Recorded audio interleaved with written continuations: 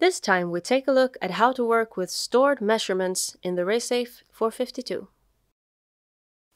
The RaySafe 452 automatically saves a log of the dose rate or count rate with 1 second resolution from power on to power off. If you want to define the start of a new measurement, press the center button. When you press the center button, the rate log and the readings on the screen are stored.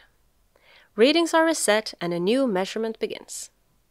The same thing happens automatically when you mount or unmount a lid after 24 hours of continuous measurements or when you turn the instrument off.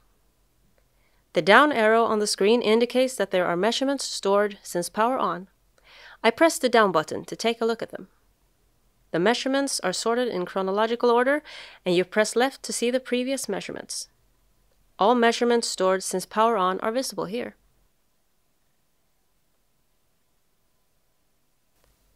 If you want to view older measurements, you use the PC software RaySafe View.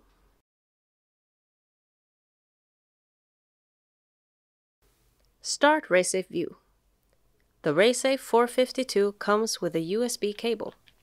Connect the cable, and now live measurements will appear in RaySafe View. To import stored measurements, go to the File menu and click Import from Instrument. From here, you access all measurements from the instrument memory. Select the sessions you want and click Import.